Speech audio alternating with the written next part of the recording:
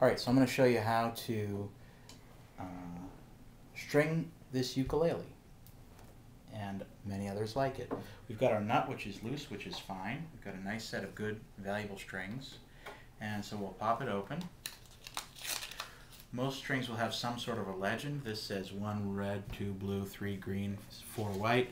That's the sticker color on the package, and they're usually in order as well. So I'm going to start with this one. One, two, three, and four refer to the slots.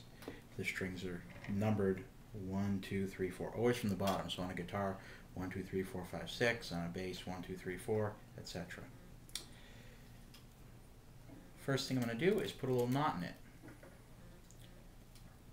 Very simple. And I'll tighten it with my teeth. Doesn't have to be super tight, but it's going to hold the string in place. I just put slid that in the bottom, pulled it tight. Pulling it tight can be a little bit helpful at first, not crazily tight, just enough so that it doesn't fall out. That looks good.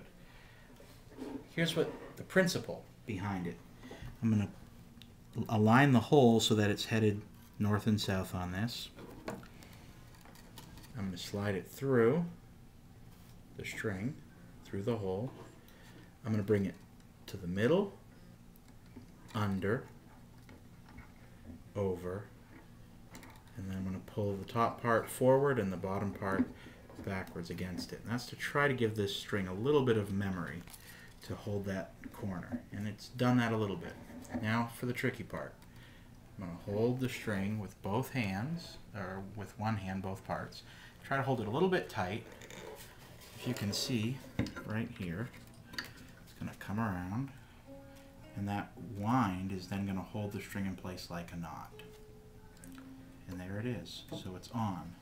Now I'm going to let the string wind and I'm going to wind it downwards from the higher part down to the lower part.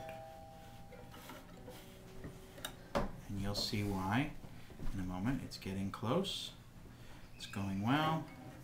Now I'll slide the nut in. The string's ready to hold it in place.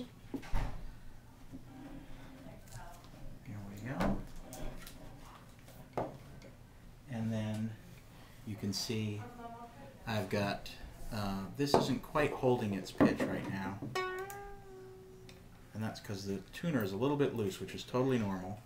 With friction tuners, you've got the uh, screw to screw in here. And if the tuner is too tight, you won't be able to tune it up. And if it's too loose, it won't hold itself in place. So you got to find that sweet spot and often make adjustments during the life of the instrument. So then you want to sing, My dog has fleas. And there's our first pitch. And it's going to detune regularly, but as long as this isn't spinning, it's the string stretching. That'll hold true for 24 hours. Now, Let's come back to that principle. We align it straight up and down, through the middle, towards the middle, under, over, pull it, and put it in place. The same holds true here. It goes through here and then towards the middle. So the on the ukulele, all the strings are going to come around on the inside and then wind to the outside. And there are two things to keep in mind. We talked about winding down, and that's so that there's a, an angle here that'll both hold the nut in place and keep this part of the string from resonating too much. And then there's also keeping it from not pulling too much. If I put this string winding the other way around the outside, it would come up here and then pull so far to the side that it would pull over the edge. So they come up, over and around. And you continue that for all the rest of the strings and then tune it up every 10 minutes, every 20 minutes. It'll be settling for the first day or so and then the strings will be in place and sound great.